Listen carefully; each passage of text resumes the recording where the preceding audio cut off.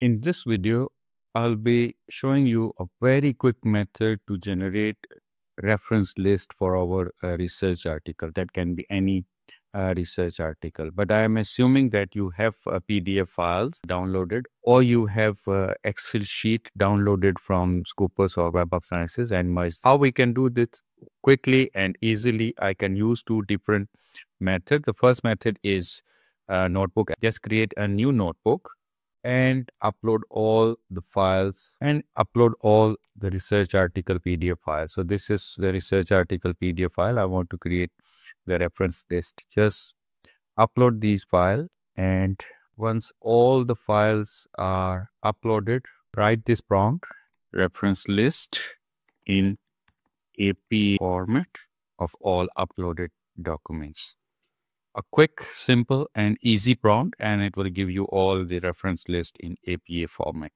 Now you can see the list is being created. You can just copy this list and paste in your document.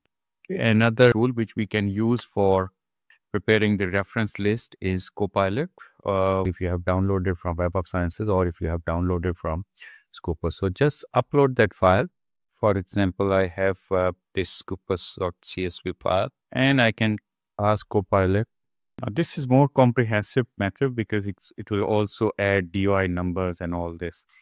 Uh, but this is really quick method of generating a reference list in APA styles. If you have PDF files, you can quickly ask Notebook. And if you have uh, Excel sheet, you can use Copilot, ChatGPT, or any other tool. But Copilot is really good when you are working with Excel sheets. Now you can see that the list is being created. If you want to change anything here and before um, exporting it to your uh, file, please feel free to edit in pages. You can see that in pages, it's, it's giving us a complete and detailed, even the links are being provided. Excellent way of generating different references in from uh, different sources. So thank you very much and have a very nice day.